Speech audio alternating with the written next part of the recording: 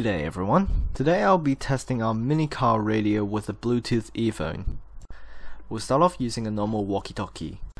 Remember to use a dummy load for testing so you won't harm the radio itself. 运到运到一二三四，运到运到一二三四，咁呢度亦都系咁样可以咁样试，运运运到运到一二三四，运到运到一二三四。 Looks good. Now move on to the Bluetooth earphone. There will also be an adapter included in the package. Plug it into the left jack on the back of the radio. Keep in mind that you must not plug it into the right jack because that's for the program cable.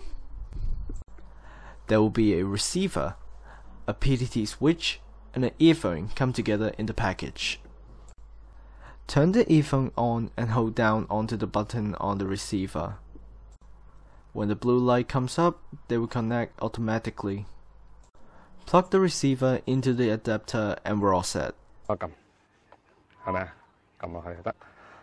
运到运到一二三四， You can adjust the volume on the earphone and also on the radio itself.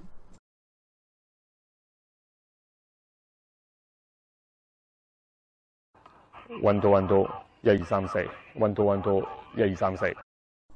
and that's the demo on using our mini car radio with a Bluetooth earphone.